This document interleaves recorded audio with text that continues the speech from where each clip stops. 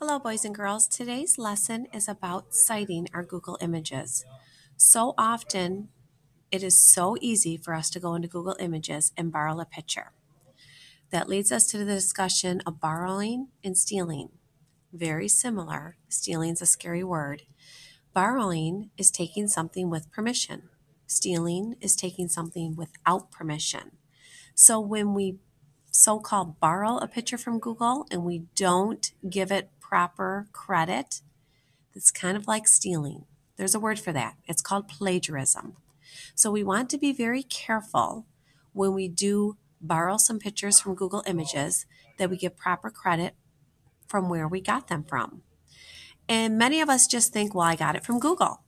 Well, actually, Google is just a representative in storing their picture for you to look at, but it actually has a source outside of Google. I'm going to show you how to get to that source and how to cite your pictures when you're borrowing them. To do that today, we're going to go into Google Images. We're going to pull up an image that interests us, maybe of an animal. I think we'll start there. Then we're going to take that image and put it into our media journal, creating a new page. And in our media journal, we're going to make sure that we properly cite where we got that picture from. So let's begin. The first thing we do to get a Google image typically is open up a new tab. And then it gives you the option in the upper right hand corner to click on images. That narrows your search to just images through Google. I'm going to look for an image of a giraffe.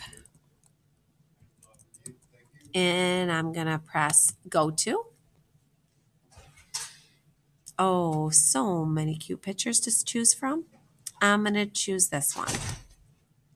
Once I'm in that, it says right here interpretation of a dream in which you, but it gives me an option to visit the page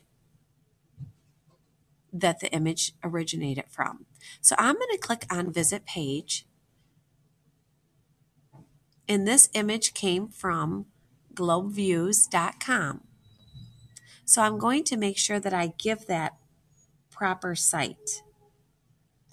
So I'm going to simply click on this, double click to copy it, to put it out on my clipboard. So I have it stored there. Then I'm going to open up a new tab. And then I'm going to open up my media journal by going into the waffle, which is also the apps, in the triangle, which is our drive. and double clicking on your media journal to open it.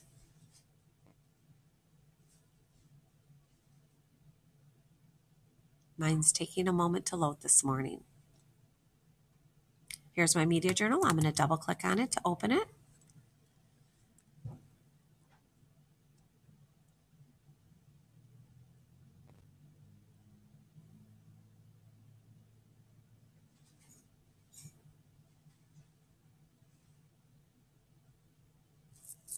Last week I did a lot of samples, so there's a lot of slides that are unfinished on my media journal.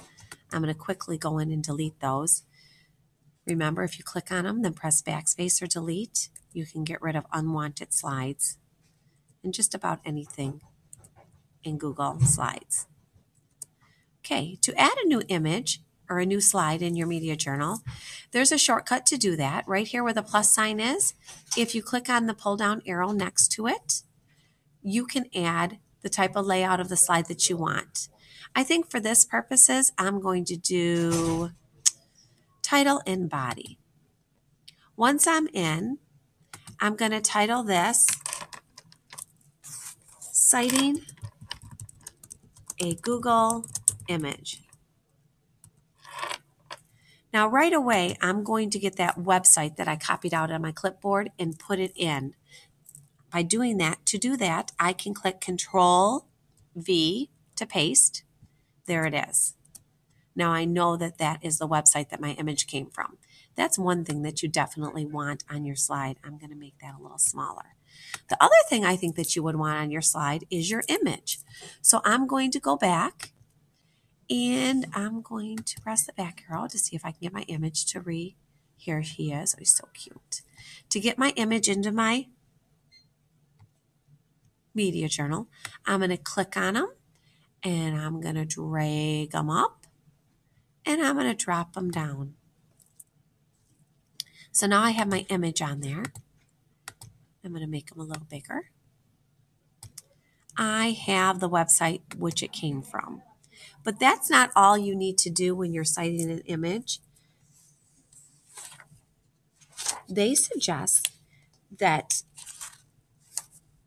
the image doesn't really have a title itself, but you need to describe the image in a few words along with the website. So what I'm going to do is I'm going to add a few spaces here in this text box. I'm going to click on the edge of the text box and make my font much smaller so I have room to change it. Okay, and I'm going to go to the top and I'm going to put your own description, a picture, what the picture is. And I'm going to put cute giraffe. Digital image.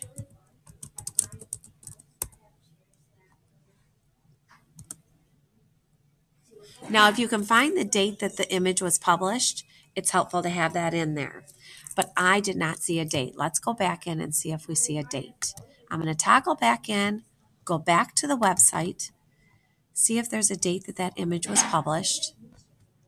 And we really don't have a date. It's just a general website, I think, about giraffes.